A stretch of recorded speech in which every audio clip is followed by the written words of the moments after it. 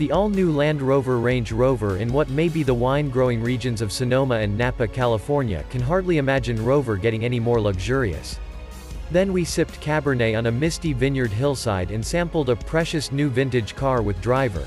A Range Rover SV with signature suite. The Range has always been a cut above, the redesigned 2023 model taking things to new heights. With an airline-style massage backseat, an electrically adjustable club table, laser-cut mosaic wood placemats, a hidden champagne fridge and British crystal flutes, this Rover fits into a much more expensive SUV than a Bentley or Rolls-Royce. Only this unrivaled Rover of taste looks so much better than a half-baked Bentley Bentayga or a musty Rolls Cullinan, and drives quietly. Of course, most Rover loyalists don't want to downgrade or so for the new version.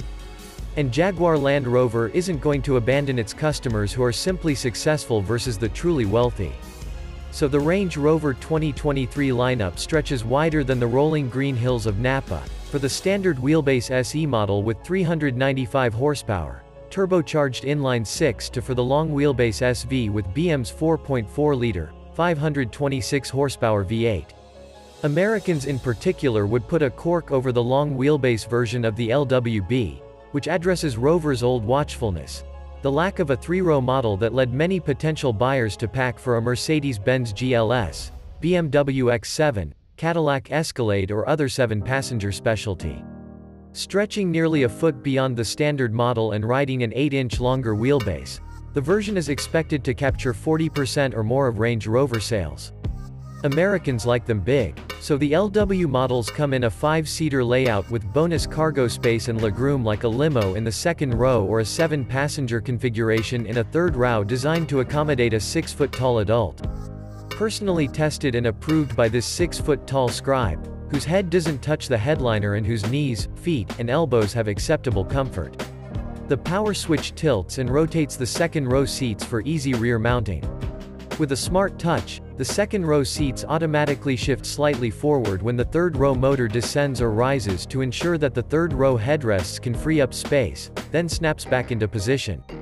No more frustrating moments when the third row gets stuck along its axis, forcing to readjust the second row or bother with the headrests to complete the swing.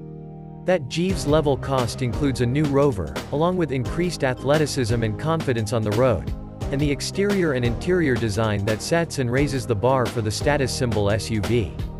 Rover takes the lead with its elegant, yacht-like proportions, including the presence of a long wheelbase limousine-like model, sure to be loved by billionaires or loyal drivers around the world.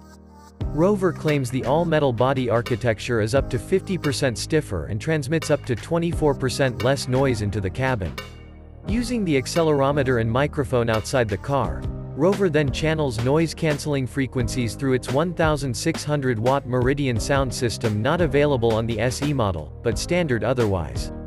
The spectacular 35-speaker audio system includes the industry's first noise-canceling headrest speakers for the four main passengers.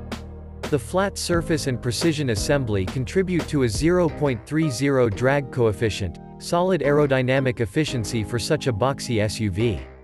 The impressive 23-inch alloy wheels are capable of filling the wheel wells.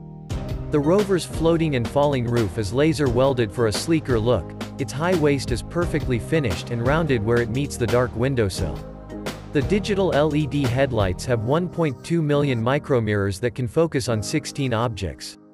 The flatter glass makes the pop-out door handles almost melt into the body. The taillights recess to light, a world's first, forming a glossy black graphic that frames the tailgate, then flashing bright red.